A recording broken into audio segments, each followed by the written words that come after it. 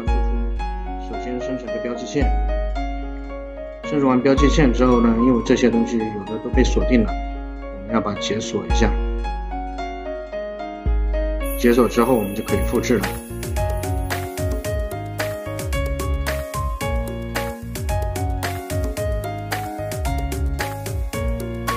复制好之后呢，换一个页面把它粘贴。粘贴好之后，我们把它可以复制一份。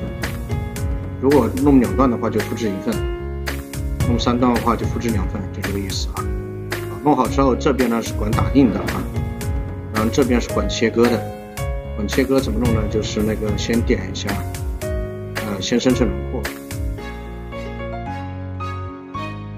生成轮廓弄完之后呢，点一下切割设置，再点小猫，点切割就可以了。好，先按 Menu 键，找到这个界面啊，这个表示要切多少段的，我们现在要切两段，然后注意啊，是按住这个键，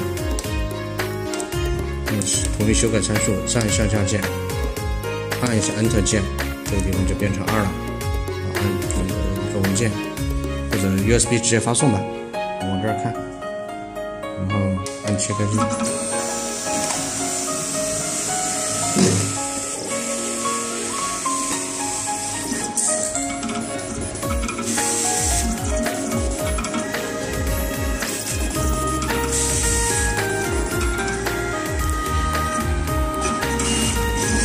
这个就切第一段了。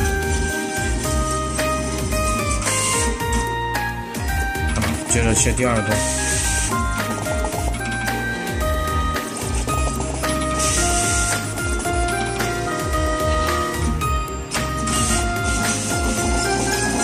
啊，就这么一个过程。